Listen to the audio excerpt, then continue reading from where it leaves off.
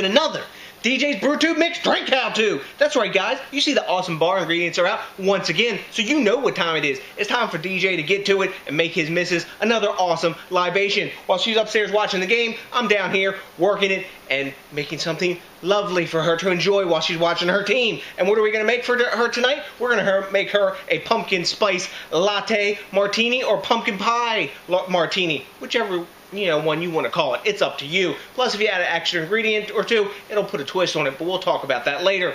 Anyways, not too long ago, you saw me make my pumpkin pie spice cream liqueur, which is awesome and rocks. I will put a link to it in the notes section so you can watch that video, but here it is. This is what's left over. Once the ladies came over to play some cards and stuff, it was gone, and only this lowly little 375 milliliter bottle out of the two 750s is left. So, what is in this drink? It's real simple. Three ingredients plus ice. We've got three ounces of pumpkin spice latte cream liqueur. Now, you can buy also pumpkin pie liqueur, but I suggest making your own. It's a lot better, and the overall drink comes out better. Then we've got vodka, and we've also got amaretto. That's going to give it a nutty characteristic. You can put some graham crackers on the rim here if you wish as well, but I don't think that's necessary. It kind of gets in the way of the drink. Now, let's get to it. So, what are we going to compose this of. We've got our tin with ice here because this is martini. It's going to be a shake and drink. We've got two and one more, three ounces of our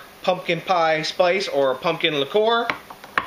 We've got an ounce and a half of regular vodka. Um, you could maybe use cream vodka in this, whipped cream vodka or vanilla, but because the um, pumpkin pie spice latte, you know, or um, pumpkin pie cream liqueur is so strong, it's going to negate any of that creamy taste in there, so I don't think it's necessary. It's a, wa a, waste of booze. Just use the regular stuff. And now we've got an ounce of Amaretto or Frangelico is one of the brand names. So we've got that in our tin.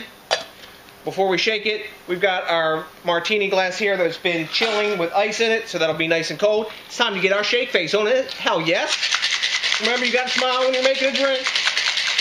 You're doing something good for somebody. You're to get them happy. Boom. Done with that. Now, we strain it into our glass. It's not rocket science, it's just making a drink. And what you do in the end is you make somebody happy, and that's kind of important, isn't it? I think it is anyway. I'm just that kind of guy. Maybe that's why bartending was a fun thing for me. Anyways, now we're going to garnish it and make it a little pretty. We got a little bit of ground cinnamon here. Nothing too fancy, but it'll give it that little extra appearance there that says, man, I'm a pumpkin drink. Look at that, guys. Gorgeous in the glass. Nice chilled martini glass. Let's get an aroma on it.